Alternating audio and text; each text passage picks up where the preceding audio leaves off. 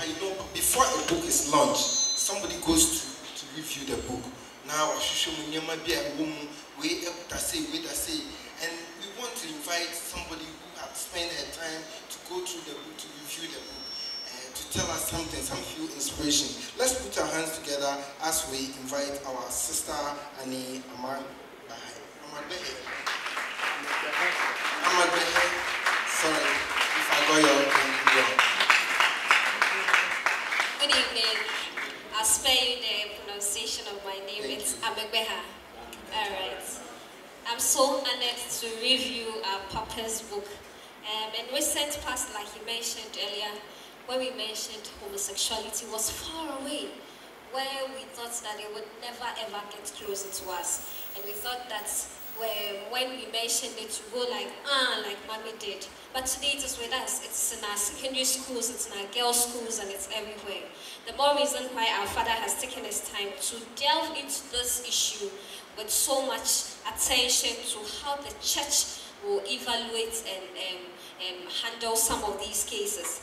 As far as the church is concerned, um, we utterly can't do away without mentioning homosexuality. And if you would want to give a nostalgic look to it, then you'll be doing yourself more harm than good. And so you'd want to embrace the idea because social activists and human rights activists have been able to propound it that we should embrace these individuals because they have their human rights. But what role do we have to play? I think this book um, is well encapsulated in seven chapters and it's in plain language. Make a plain- language and I'm in or a simple English me can be. It's so simple that your child who is in class one can read to understand. And it's so clean and clear and plain that the individual who has not even been schooled can be read to to understand. We also say that the book is holistic. It identifies our tradition and culture as Ghanaians and tries to, you know, bring it um, apart with the scriptures. And so, as traditionals, as as traditional in the sense of Ghanaians, what do we say about the book? The book also identifies homosexuality Sodom and Gomorrah and identifies if it was actually the act or they actually lacked hospitality. And so these are many more chapters that you would want to explore in the book.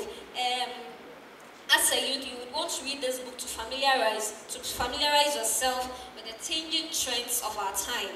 And you would also want to um, be relevant in our time in how to express and defend the good name of our church in this matter. Without boring you much, I guess she wants me to tell you all that there is in the book. I'm not sure it's my job to do. It's yours to do by buying the book. And in fact, when you buy it, seven chapters, one chapter a day, and in seven days you are done.